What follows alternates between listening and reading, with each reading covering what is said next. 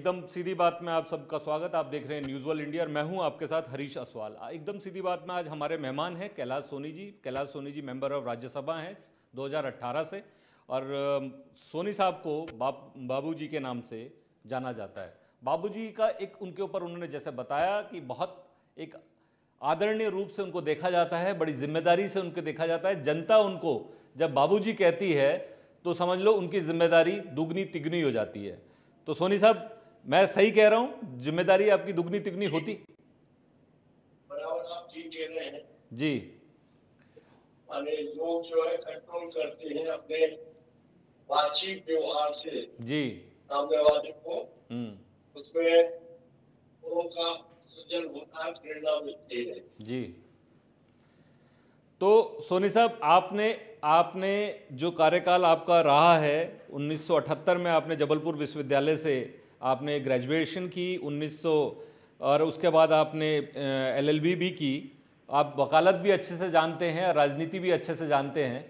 जिस तरह का भाषा का प्रयोग आजकल राजनीति में हो रहा है वो किस तरह किस तरह से आप लेते हो उसको और कितना सही है वो? हाँ, नहीं ये राजनीति में ये गलत फ़ेज़ है। जी। पहले इतना सद्भाव था आपस में। जी। लेकिन आजकल टोटल पॉलिटिकल सर्किल में गिरावट आ रही है। हम्म। और बोलने में तो विशेषकर। जी। और इसमें सुधार होने की बहुत आवश्यकता है। हम्म। अन्यथा टोटल पॉलिटिकल सर्किल के प्रति अनास्था बढ़ेगी इसमें। जी। वैसे तो टोटल समाज में हम्म। समाज में ही ये सिंसियरिटी कम हो रही है। समाज में ही ये प्रवृत्ति धीरे धीरे जी। सद्भाव की अच्छे व्यवहार की ठीक भाषा के प्रयोग की इसमें सकल समाज में गिरावट आ रही और उसका रिपरकशन पॉलिटिकल सेक्टर में है। जी। लेकिन पॉलिटिकल सेक्टर को कंट्रोल करने की भूमिका अदा करना चाहिए। यदि हम ठीक ढंग से व्यवहार करेंगे ठीक संवाद करेंगे तो इसका अनुसरण समाज करेगी। जी। ये ठीक नहीं है अभी वर्तमान की जो परिस्थिति है। जी। ये मर्यादा पहले पार्लियामेंट का भी अपन पुराना प्रोसीडिंग उठा के देखेंगे। जी। तो आज़ादी के तीन दशक तक चार दशक तक भी हम कह सकते हैं जी। कि ये मर्यादा बनी हुई थी हम्म हम्म। लेकिन अब ये मर्यादा काफ़ी नीचे आ गई है। हम्म। कहीं कोई इसमें कहीं ब्रेक लगता दिखाई नहीं दे रहा है। जी। तो सोनी साहब मैं कहूँ इसमें अब आप लोगों की भूमिका और ज़्यादा बढ़ जाती नहीं है। बिल्कुल हमारी भूमिका तो बिल्कुल हम लोग समय समय पे आप लोगों को सचेत करते रहते हैं कि इस तरह के अनपार्लियामेंट शब्दों का प्रयोग ना हो। और हम लोग हमेशा से इस चीज़ के आलोचक रहे हैं कि शब्दों शब्द सही होने चाहिए। और मैं आपसे ही पूछूँ कि शब्द की मर्यादा का ठेका विपक्ष का ही है क्या? हाँ, ये इसको क्रिएट करने की आवश्यकता है फोर साइड से। जी। मीडिया से भी समाज से भी सब जगह भी हम टोकने का काम करेंगे। जी। और मीडिया भी इसको कंडेम करेगा। जी। अपने प्रिंट मीडिया भी इसको कंडेम करेगा। और दिशा सूचक तो हमारे साहित्यकार हैं हमारे अदर फैक्टर हैं। जी। मुश्किल ये हो गई है हम्म। कि पॉलिटिकल सेक्टर हमारे जो अन्य समाज को चलाने वाले उपादान हैं हम्म हम्म। उन सब के ऊपर चढ़ गया है। ओवरलैपिंग हो गई है। जी। पॉलिटिकल सेक्टर की जो भूमिका नहीं होना चाहिए जहाँ वहाँ भी पॉलिटिकल सेक्टर जाता है। जी। और उसकी मान्यता हम करते हैं इसमें गड़बड़ होती है। बिल्कुल। तो हमारे जो अदर नो, आई नोज़ हैं हमारे समाज को संचालित करने वाले जो अन्य उपादान हैं हम्म। उन सबको भी अपनी भूमिका बढ़ाना पड़ेगी। और हम सबको सामूहिक रूप से ये जो गिरावट है, शब्दों की, मर्यादाओं की, आपसी व्यवहार की, संवाद की, इसको कंडेम करने की ज़रूरत है। जी। सोनी साहब, आप इमरजेंसी के टाइम पे जेल में भी रहे, आप लोगों ने देश के लिए बहुत कुछ किया है। आप लोग बड़े होने के नाते, कभी पार्टी के युवा नेताओं को इस चीज़ के लिए टोकते नहीं हैं, समझाते नहीं हैं कि हम अपनी तरफ़ से कुछ ऐसे शब्दों का प्रयोग ना करें कि दूसरे को मौका मिले। तो ऐसा नहीं है कि विपक्ष की तरफ़ से ही कोई शब्द का बाण डाले जाते हैं। शब्द के बाण आपकी तरफ़ से भी आपकी पार्टी की तरफ़ से भी होते हैं। तो एक बुज़ुर्ग होने के नाते आप देश दुनिया आप लोगों ने देखी है जिस प्रकार से। आपने इस देश की कल्पना इस तरह से कभी नहीं की होगी। मैं ये मैं मैं समझता हूँ। नहीं ठीक है। ये भूमिका वरिष्ठता क्रम में तो आना ही चाहिए। जी।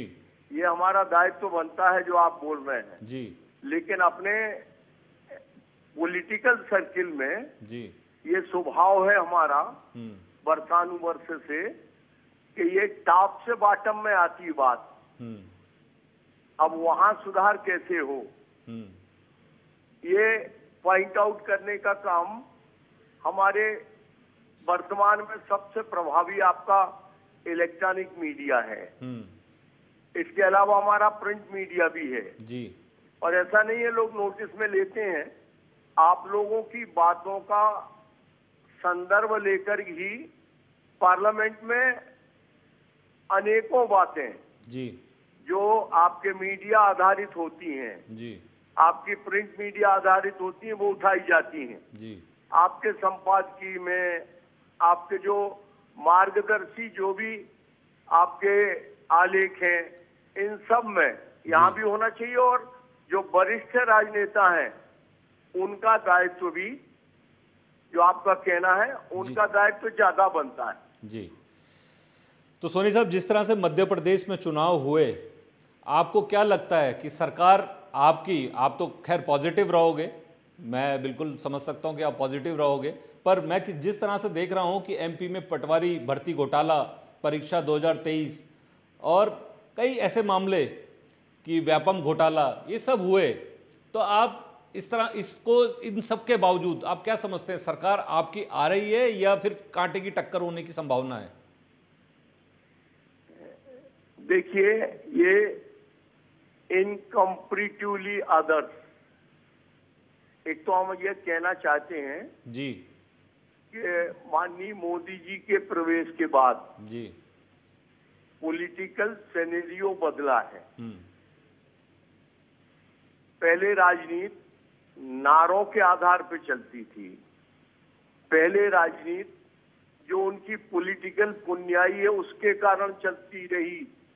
तीन दशक तक चौथे दशक तक भी खानदान के कारण ये राजा रानियों का मुल्क है इसलिए 30-40 साल ये उनके पॉलिटिकल जो डायमेंशन है उनकी जो पुण्याई है जो साथी है उसके कारण चलता रहा। लेकिन अब पॉलिटिकल सेनेरियो बदला है मोदी जी के बाद। हम्म। राजनीति इशू बेस्ड हुई है। राजनीति टोटकों से हट करके अब इनके मायने नहीं रह गए कि एक दिन हमने किसी अनुसूचित जाति वर्ग के लोगों के यहाँ भोजन कर लिया उसके बच्चे के साथ बैठ लिया उसको अपन ने गोद में ले लिया। तो इसके इम्पैक्ट कोई जमाने में हुआ करते थे। जी। और वो भीतर से इनेक्टमेंट होता था तो उसकी वैल्यू भी होती थी। लेकिन धीरे धीरे उनके प्रति जो हमारी आस्था है वो समाप्त होती गई तो उनका अब कोई मायने नहीं है। जी। और मोदी जी ने जिस ताकत से हिंदुस्तान को जी। अपने आचरण से प्रमाणिकता दी है इससे अब राजनीति इशू बेस्ड हो गई है। जी। और आदमी नीतियों को अनुभव कर रहे हैं। कभी अब आपको हम बताते कभी पॉलिटिकल सेक्टर के लिए सबसे ज़्यादा मार्गदर्शी कोई दार्शनिक कोई विचारक कोई हमारे राजनेता रहे हैं तो उसमें मैं मानता हूँ डॉक्टर राम मनोहर लोहिया ने जी। दैनंदिन राजनीति पे बहुत बारीकी से लोगों के आचरण के लिए कंट्रोल करने का प्रयास किया है। वो तो कभी कोई जमाने में जब वो मैनुअल वाला फ़ोन हुआ करता था जी। तो अपने मंत्रियों को डांटते थे कि ये विषय जो है पोस्ट कार्ड में भी लिख के भेज सकते थे। पर सोनी साहब अब तो आपने इतना खर्चा लाइटनिंग काल पे क्यों किया? अब तो फ़ोन करने में भी डर लगता होगा। कि जब कभी तुम्हारी गैर कांग्रेसी सरकार बन जाए तो क्या करना? जी। तो उनने कहा कि मिठाई खाने में और माला पहनाने में पहनने में वक्त बर्बाद नहीं करना। हम्म। कब तक नहीं करना? जब तक के ऐसे कानून कायदे न बन जाएँ हम्म। जिससे जनता कहे कि ये हमारी अपनी सरकार है। और अभी लोक रंजन के लिए मैं मध्य प्रदेश से आता हूँ। मध्य प्रदेश में हमारा ये कहना है कि माननीय प्रधानमंत्री जी के योगदान के साथ माननीय शिवराज सिंह जी ने समाज के प्रत्येक वर्ग के लिए, समाज के प्रत्येक दर्द के लिए लोगों को एहसास करा दिया कि हम आपके साथ कानून कायदों की व्यवस्था करके और उनने जनता को महसूस कराया कि हमारी अपनी सरकार है। आपको बताएँ गर्भस्थ शिशु से लेकर के। जी। और आखिरी में गरीब आदमी के लिए यदि लकड़ी का इंतज़ाम नहीं है। तो कानूनन हर पंचायत में आज पाँच हज़ार रुपए की व्यवस्था कानूनन हर पंचायत में। अपने कठिनाई के समय में एक नया मॉडल दिया हिंदुस्तान में मध्य प्रदेश ने। जी। वो हमारे शिवराज सिंह जी ने ये विवाह अब आप कल्पना करिए आज़ादी के बाद कभी किसी के दिमाग में ये आइडिया नहीं आता जी। कि गरीब आदमी लड़का ढूँढने में टूट जाता है। फिर शादी विवाह में तो एक आध एकड़ छोटे किसान की ज़मीन गिरवी रखना है और बाद में नीलाम होना ही होना है। लेकिन विवाह भी सरकार कराएगी। ये प्रयोग पूरे हिंदुस्तान के लिए यदि हम कहें कि ये शिवराज सिंह जी ने दिया है। अच्छा। अच्छे मातृशक्ति के लिए। सोनी साहब। ये लाडली लक्ष्मी तो अभी आई है। बिल्कुल सोनी साहब मैं आपको एक, लेकिन आपको मैं एक अपने पहले कार्यकाल में जी। इनने लाडली लक्ष्मी उनके लिए साइकिल उनके लिए किताबें उनके लिए ड्रेस उनके लिए एक निश्चित परसेंटेज के बाद पढ़ाई का सारा जुम्मा सरकार की और हर बात का विचार मातृशक्ति के लिए किया है। अभी ये लाडली लक्ष्मी लास्ट पायदान पे है। जी। ये केवल राजनीति के लिए नहीं किया। तो यहाँ जो इनेक्टमेंट है अपने शिवराज सिंह जी का और उसमें माननीय अपने प्रधानमंत्री जी ने मिलकर के और इसको अनुभव मध्य प्रदेश की जनता ने किया है। तो हमें लगता है कि तीसरी बार भी ये मुकम्मल राजनीति की तरफ़। एक बात और बताएँ कि ये मेथड टूटा है। जो अभी आप बात कर रहे थे, घोटालों की, ये मिथक टूटा है कि बड़ा आदमी कोई भी अपराध करे, यदि ऊँचे पद पे है तो छूट जाएगा। अब धीरे धीरे ये अवधारणा जनता में बन रही है तो कोई कितना भी बड़ा आदमी हो, नेताओं के नाम तो बहुत कम आते संख्या में लोग कहते हैं एक दल विशेष के साथ हो रहा है। लेकिन यदि बारीकी से आप पूरे अधिकारियों की सूची जारी करेंगे तो साहब बहुत हिम्मत का काम केंद्रीय सरकार कर रही है तो है। सोनी सोनी साहब मैं आपसे आपके जवाब में दो चार प्रश्न मेरे तैयार हो गए हैं तो उन्हीं प्रश्नों को लेके मैं बात करूँ। शिवराज सिंह जो शिवराज जी के ऊपर भरोसा जो आप आप जैसा बता रहे हो ऐसा उनके उनको सीट के ऊपर जब उनकी चर्चा हो रही थी तो उनको सीट डिसाइड होने में दो से तीन लिस्ट लग गई। तो क्या पार्टी को भरोसा नहीं था शिवराज सिंह पे कि उनके उनके चेहरे पे हम चुनाव जीत सकते हैं? देखिए वैसे डेमोक्रेटिक नाम तो ये हैं कि साहब आफ्टर इलेक्शन एमएलए का राइट है ये। ये बेमानी है किसी को भी पहले से घोषित करना। अच्छा। और अपने काम और आचरण के आधार पे हर प्रांत में आदमी खुद चेहरा बन जाता है। और अब धीरे धीरे मोदी जी के एनेक्टमेंट के कारण आचरण की प्रधानता बढ़ती जा रही है। और सबको अपने आप को केंद्रित करना पड़ेगा। कभी हमने पार्लियामेंट में भी कहा कि हम निःशुल्क सलाह दे रहे हैं कि केवल आलोचना करने से काम नहीं बनेगा। बहुत लंबा इतिहास है कांग्रेस की भी त्याग तपस्या की बहुत कहानियाँ हैं। और बहुत से बड़े बड़े आचरण भी हैं। सोनी साहब। हमें मोदी जी को यदि मीट आउट करना है तो हमें वैसा आचरण खड़ा करना पड़ेगा। केवल टीका करने से काम नहीं चलेगा। ये आदमी एक क्षण भी अपनी निजी ज़िंदगी के लिए जिसने नहीं दिया। और यह हम बताएँ आपको कि ये भरोसा आम जनता में इतने कम समय में जनता में हो गया है। कि माननीय प्रधानमंत्री जी का कोई पर्सनल एजेंडा नहीं है। इनकी एक एक सांस, उनका एक एक इनेक्टमेंट यदि किसी बात के लिए है तो वो समाज और राष्ट्र के लिए है। अभी आपने देखा कि उनकी मदर की डेथ के समय। आप ऐसे बिरले उदाहरण मिलेंगे राजनीतिक सेक्टर में। एक तो सारे हिंदुस्तान के नेताओं को आने नहीं दिया। नहीं तो कितना आर्थिक नुकसान होता सास की और दूसरा ये कि दो घंटे में प्रूनल करके बंगाल की वंदे भारत ट्रेन को माननीय प्रधानमंत्री जी झंडा बताते हैं। आपने देखा पार्लियामेंट का भी ट्रेडिशन बदला है कि अपन शोक श्रद्धांजलि अर्पित करते थे और दिन भर की छुट्टी हो जाती थी। अब इस पे लोकधन कितना बर्बाद होता है और देश का विकास आत्मनिर्भर हिंदुस्तान का रास्ता काम के घंटे बढ़ाना पड़ेंगे। और ये अभी जैसे आपका ओवरब्रिज और अंडरब्रिज के मामले में करोड़ों आदमी आपका ये रेलवे फाटक पे खड़ा रहता था।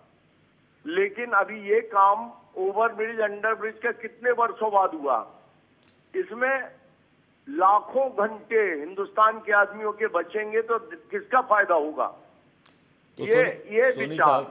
ये देश को आगे बढ़ाने का हर बिल्कुल, आपने कहा कि आपने जो- जो उपलब्धियाँ हैं, आपने गिनाई। इसमें ये नहीं कि पॉलिटिकल गेन हो जाएगा पार्टी का गेन हो जाएगा।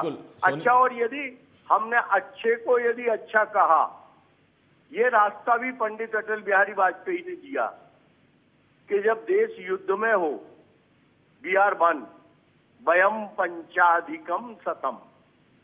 अच्छे को अच्छा कह के भी हम अपनी आइडेंटिटी प्रूव कर सकते हैं। ये पॉलिटिकल सेक्टर में आने की आवश्यकता है। सोनी साहब, एक चीज़ बताएँ मुझे। आप लोग अगर इतना ही अच्छा काम कर रहे हो, मैं बोलूँ कि बहुत अच्छा है अच्छा काम करना चाहिए। अगर आपको लगता है कि आप इतना ही अच्छा काम कर रहे हो तो क्या ज़रूरत थी पाँच पाँच कैबिनेट मिनिस्टर को उतारने की? क्या क्या उनके चेहरे पे या मोदी जी के ही चेहरे पे हमेशा हिंदुस्तान चलता रहेगा? कोई सिस्टम तो होगा ना।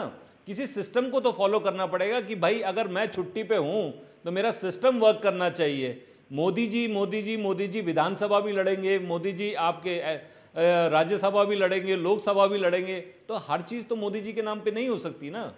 एक सिस्टम तो होना चाहिए, जिसकी आप चर्चा हमेशा से आपकी, आप, मैं आप ही की बातों को याद दिला दूँ। संघ संघ संघ में जिस तरह से होता है कि एक सिस्टम वर्क करता है। वहाँ कोई व्यक्ति विशेष वर्क नहीं करता, यहाँ व्यक्ति विशेष है। आज जहाँ तक मैं एज ब्रैकेट की बात करूँ, आपका एज ब्रैकेट आप भी शायद मोदी जी की उम्र के हैं, और आपने एक पिछहत्तर साल का एज ब्रैकेट आप लोगों ने फिक्स किया है। आफ्टर सेवेंटी फाइव वर्ड देखिए, एक तो ये विधानसभाओं के चुनाव जो वर्तमान में चल रहे हैं, ये इसलिए इम्पोर्टेंट हो गए हैं कि 2024 सामने खड़ा है। ये बड़ी लड़ाई का सबसे बड़ा मोर्चा है। दूसरी बात हम ये बताते हैं कि देश काल परिस्थिति के अनुरूप यदि कोई दल अपने आप को बदलता है तो उसमें मैं कहूँगा कि ये भाजपा इसमें अग्रगण्य है। अभी कांग्रेस की मुसीबत यही हो गई है कि इनमें जनरेशन गैप हो गया है। आने वाले समय के लिए इनकी लीडरशिप तैयार करने का काम। और तीसरी बात ये कि किसी को अहंकार नहीं होना चाहिए भाजपा में कि हम केंद्रीय नेता हो गए हैं। एक मैसेज ये है कि हर एक को कार्यकर्ता बनाए रखने के लिए भी ऐसे निर्णय सारे दलों को करने की आवश्यकता है। नहीं तो जड़ता आती है और कुर्सी का स्वभाव है नींद आना धीरे धीरे सोना शुरू करते लोग। इसलिए ये रोल बदलते रहना चाहिए। और दूसरा इसमें मैसेज है कि हमारा 2024 के चुनाव के लिए किस सेनापति के बलबूते पे आगे की लड़ाई तय हो सकती है जी। ये निर्णय केंद्रीय नेतृत्व करता है। और माननीय मोदी जी का ये चेहरा अपने आप सामने हो जाता है। उनके आचरण के कारण।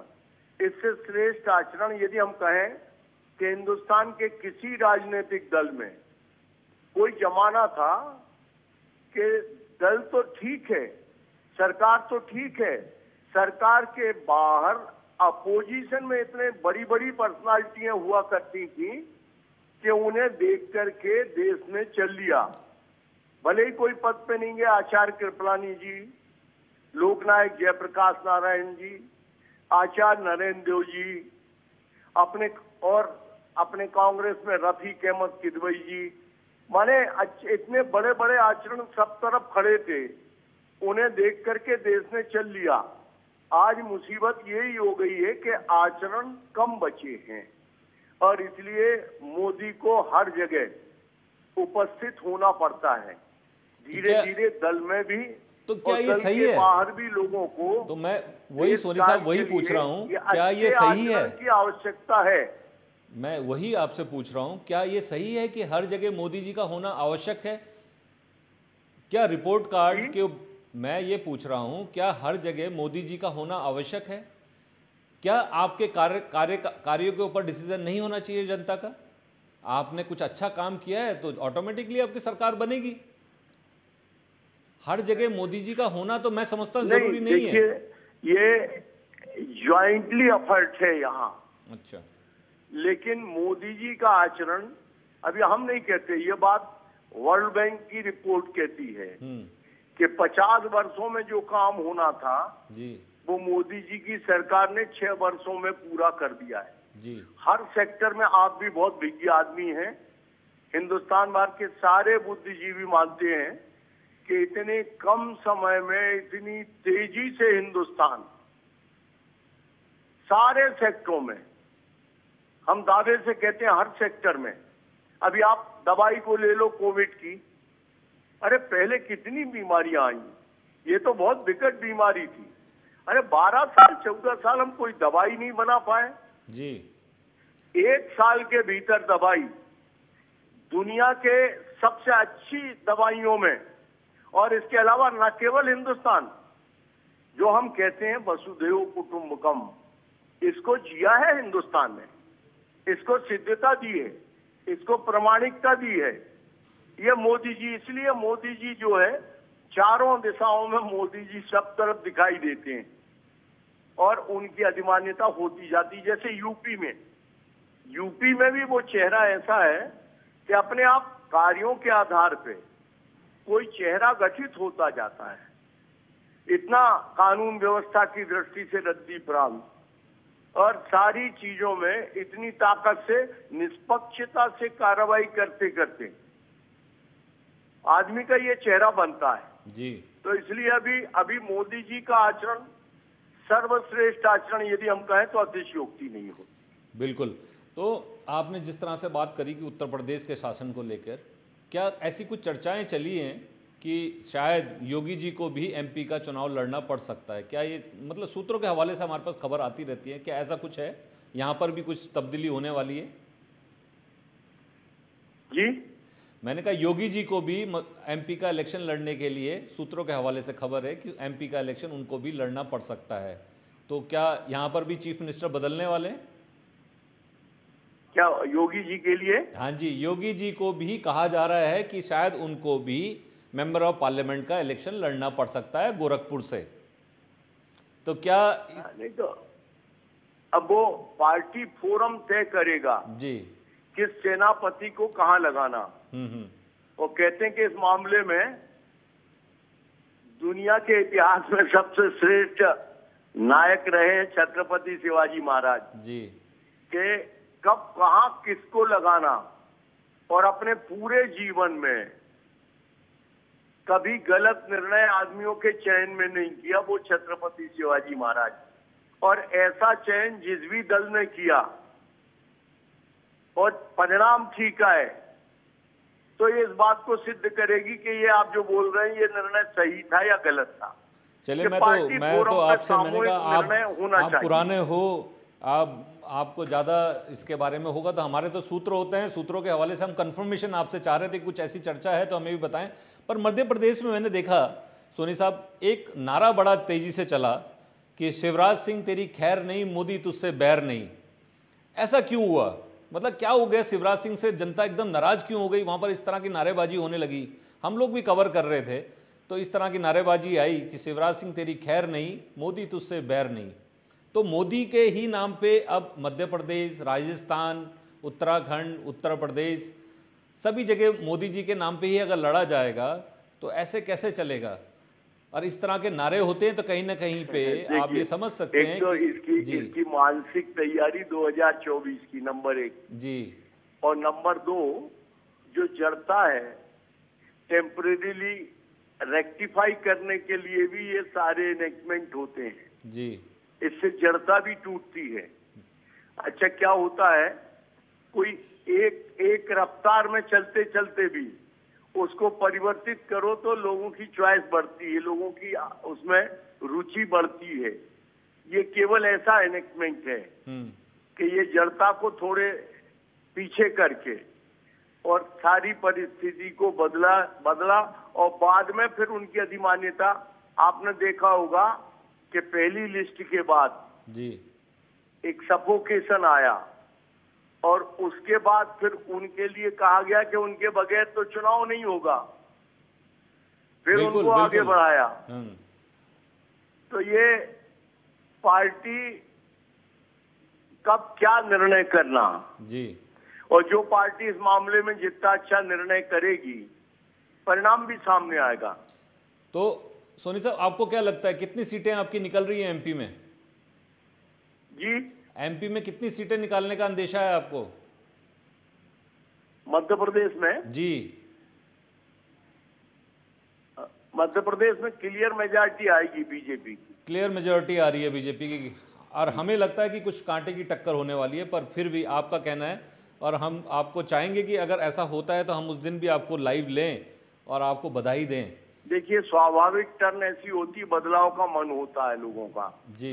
हर पाँच साल में राजनीति में लोग मज़ा लेना चाहते कि भैया अभी इनने देख लिया अब इनको देखो। जी। जैसा स्वभाव आपके राजस्थान का बन गया है। जी। लेकिन मध्य प्रदेश में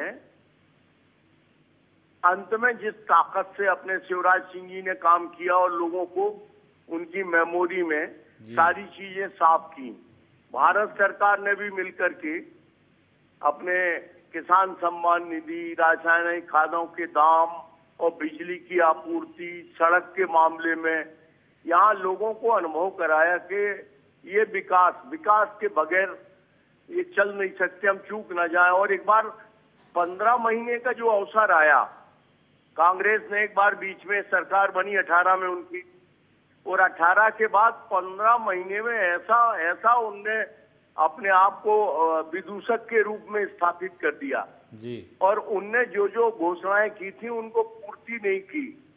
और देखिए जिस मालिक का एक बार चेक बाउंस हो जाए एक बार चेक जो है झूठा थमा दिया जाए तो फिर उनकी कोई बात का लोग भरोसा नहीं करते इस कारण से हमें लगता है कि मध्य प्रदेश में भारतीय जनता पार्टी की सरकार बन जाएगी। तो मतलब मिथ टूटेगा एक बार बीजेपी एक बार कांग्रेस का मिथ इस बारी एमपी में आप बोल रहे हो कि टूटेगा?